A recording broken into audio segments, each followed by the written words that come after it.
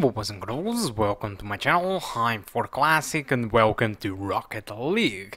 So this game is developed by Psyonix and it is still using Unreal Engine 3 so that is why it is so easy to run. So yeah, today we are going to test the game on the GTX 1650 Super with 4K resolution maximum settings on a competitive with two players versus two. But even three versus three I have been investigating and it's pretty much fine as far as I can see.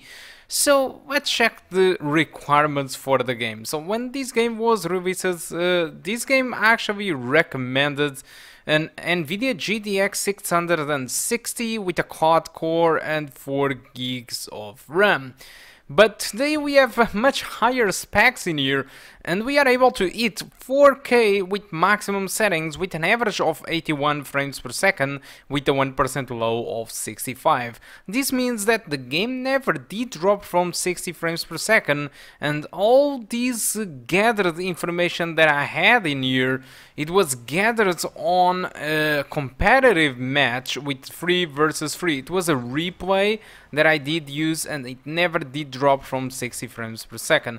In this video you can see that uh, sometimes it seems that uh, it is clearly close to drop from 60 frames per second but don't forget that I'm using Shadowplay to record at 4K so it penalties the performance more than usual because without Shadowplay it runs even better.